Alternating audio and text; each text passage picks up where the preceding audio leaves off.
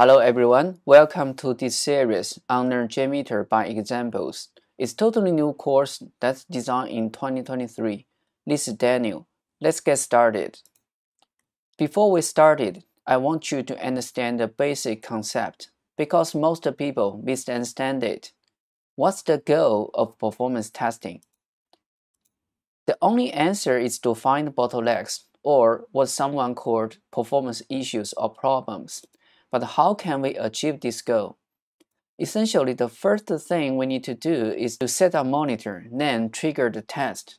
Only trigger the testing is not enough. As a performance testing expert, we need to know how to set a monitor and how to analyze performance bottlenecks. That's why I prepared this course series. Then you'll get KPIs from JMeter. For each round of testing, you need to observe the KPIs to see if any abnormal KPIs there. Then we should focus on those things. Finally, based on the testing results, we can do kind of bottleneck analysis to pinpoint the performance issues and give tuning suggestions to development team for performance tuning. Alright, all those things will be covered in this course and I'm pretty sure it's not going to be hard to you as I'm going to give you lots of examples, real scenarios, and notes. Then you'll learn quickly and set up your project easily. So, uh, what you will learn, as you can see, I'm going to prepare three series here, series 1, series 2, and series 3. In the series 1, I prepared lots of sessions here and you don't need any prior knowledge in JMeter or performance testing. I'll guide you step by step to complete a real scenario, and you'll understand quickly how JMeter works with these examples. In the session 2, let's quickly learn how to set up monitor, how to get backend matrix from backend server. I'll recommend you a simple tool so we can use the simple tool to set up monitor then we can get backend KPI automatically. And in the series 3, let's talk about the big data testing. With current popular framework and architecture, you can implement your big data testing quickly. With examples, you can understand how it works quickly. Okay, let's start with uh, the series 1 if you are new here, make sure to subscribe and enable the notification below as I upload new videos every week. Well, this is the real scenario that I prepared for you guys and is based on an open source system, Orange HRM, and this is the system that you can complete a real scenario by yourself after this course and you can practice your JMeter skills with this system. Okay, let me show you what it look like. Okay, this is the Orange HRM system. It's an open source system and you can log in as the username, admin, and the password, admin123. Then click login, you go to the system. So you can use the system to uh, complete the real scenario testing. And in short, um, the scenario requires you to log in, uh, log off, and uh, create user, delete user, and um, also like a load admin page, search this user, search all users. That's the uh, main steps.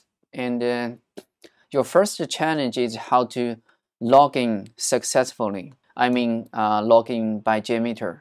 But no worries, I'll guide you step by step to complete the scenario.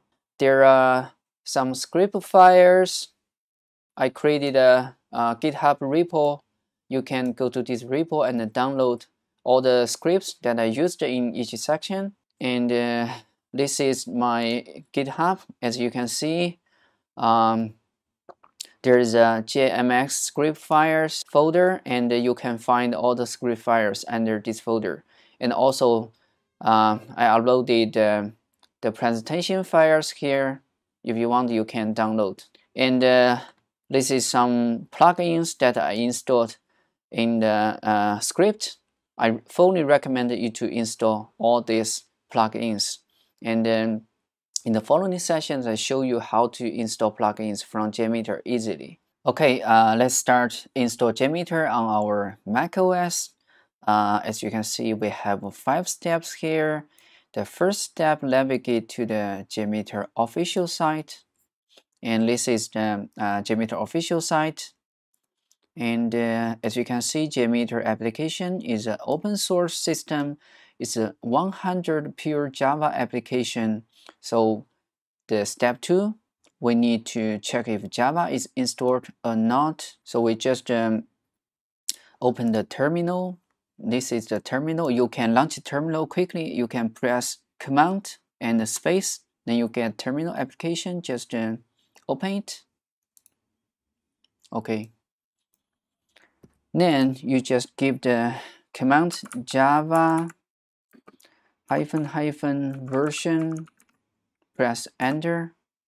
Yeah, it says my Java is already installed. The version is 20.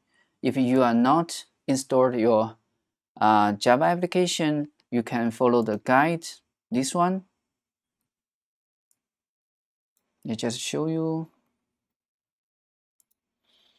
Okay, this is how to install Java on Mac system. You just follow the steps here, very simple. The first step, you need to download the Java application. You can open the Java download page.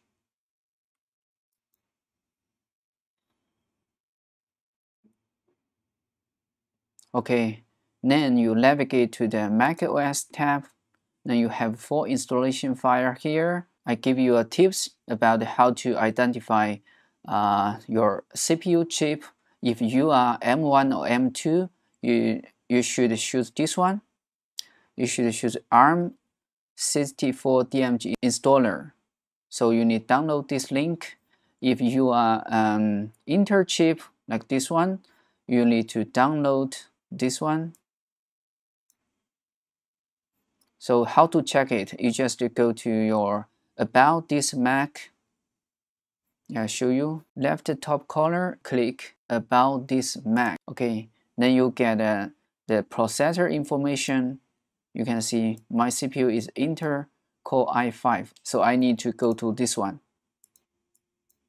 Okay, so just uh, download this one. Then it takes time. Okay, it's done. So just uh, follow the guide after downloading. So we need to um, open the package file then click continue and install then close. You can click here and uh, click show in folder okay this is the uh, java installation file. You just uh, double click it and uh, open the JDK file again.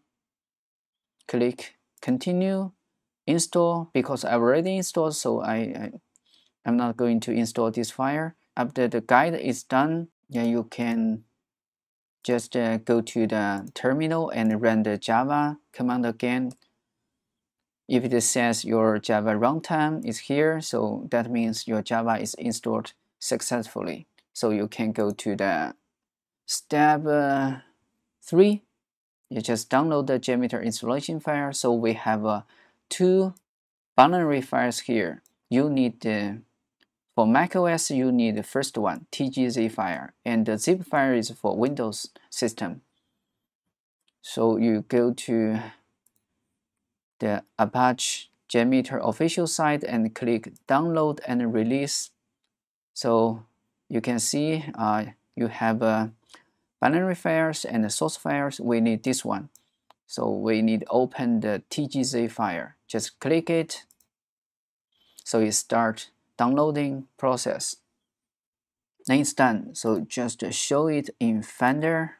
Just right click mouse and open with any uh, uh, archive utilities uh, in your Mac system. I think this one is default. You can just use this one. Okay, we got uh, got this folder.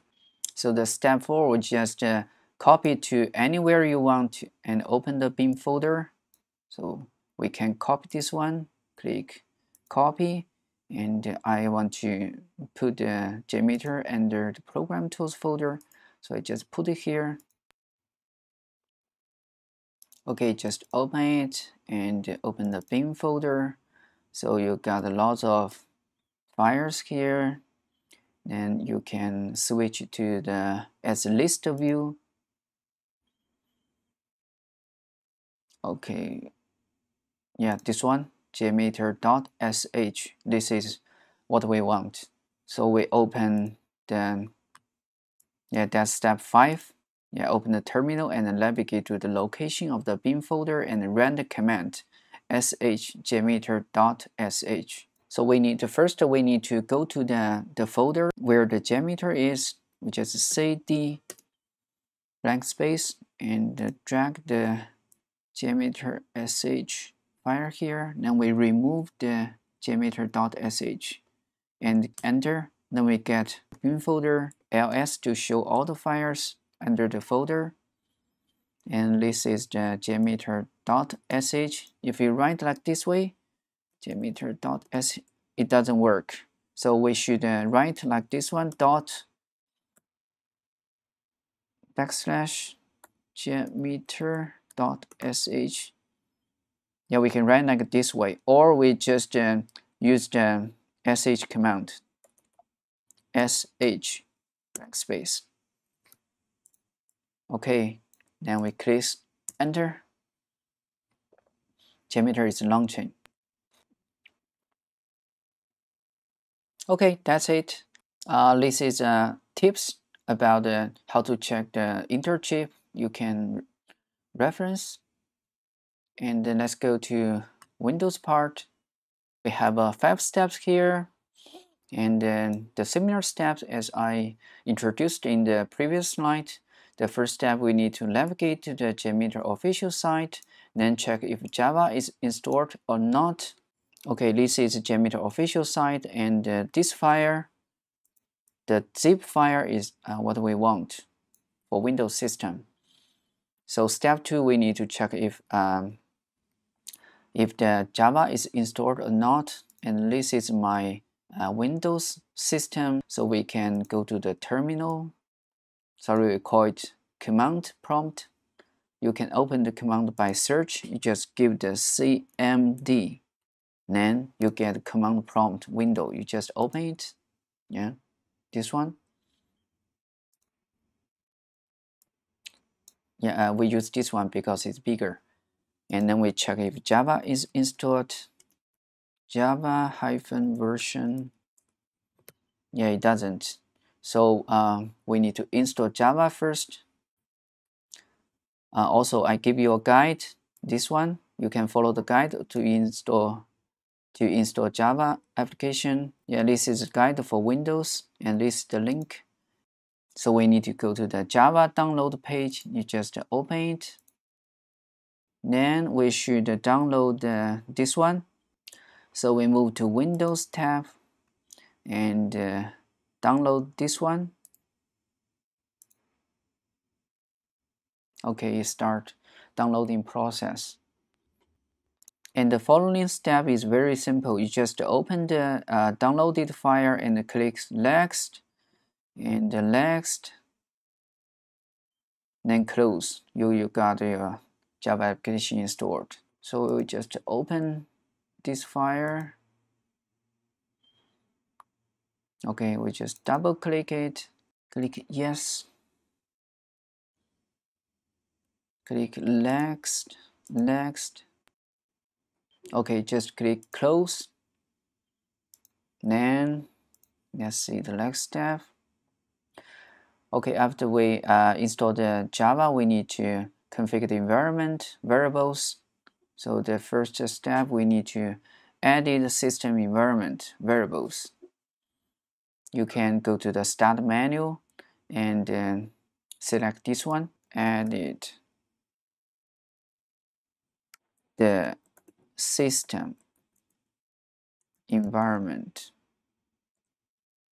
Okay you get it. This one you just open it. Then we should go to uh, the startup and the recovery. You can see there's a link environment variables. Just open it.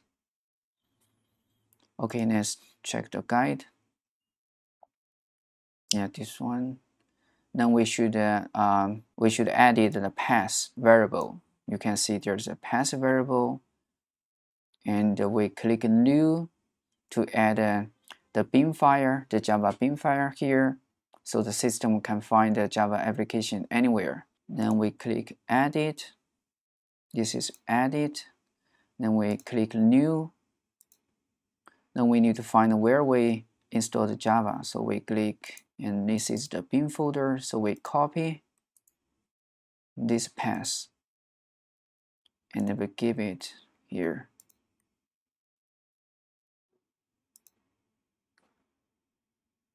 Paste here. Then we click OK. Okay add it. Then the next step we need to add a java home variables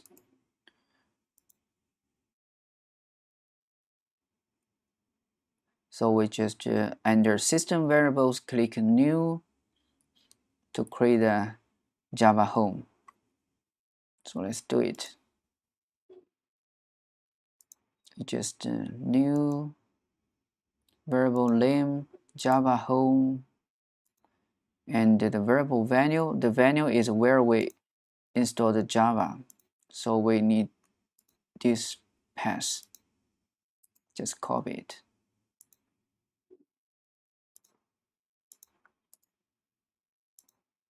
Okay.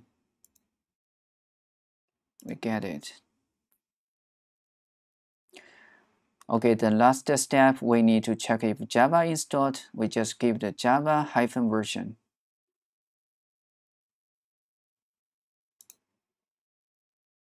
Okay, if you just try it like this way, yeah, it doesn't work because we need to relaunch the command window.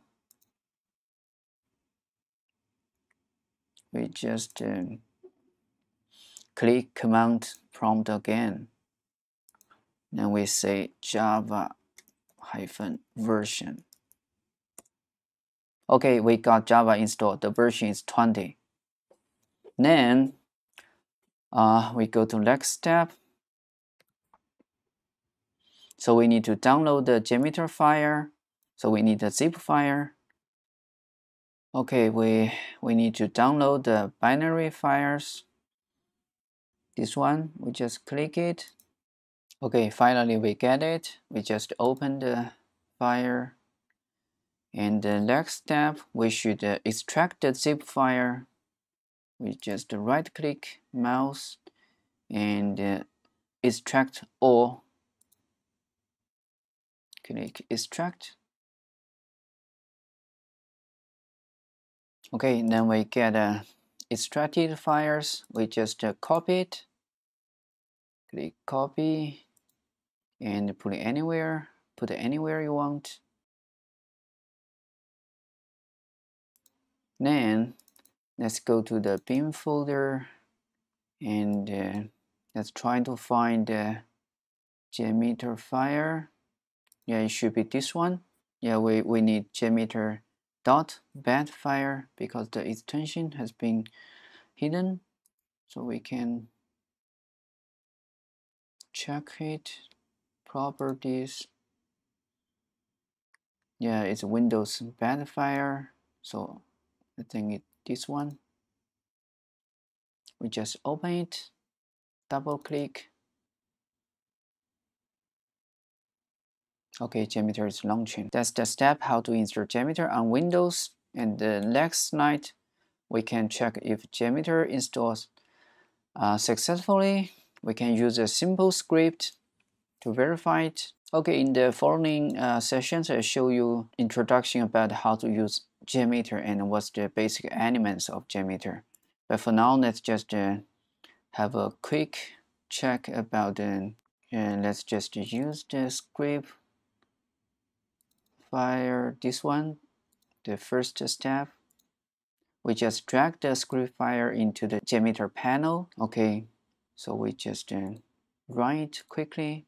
Okay, there's no errors. The request has been posted out. Okay, in the next session, let me give you a short introduction about the JMeter interface. See you in next video. Thanks for watching.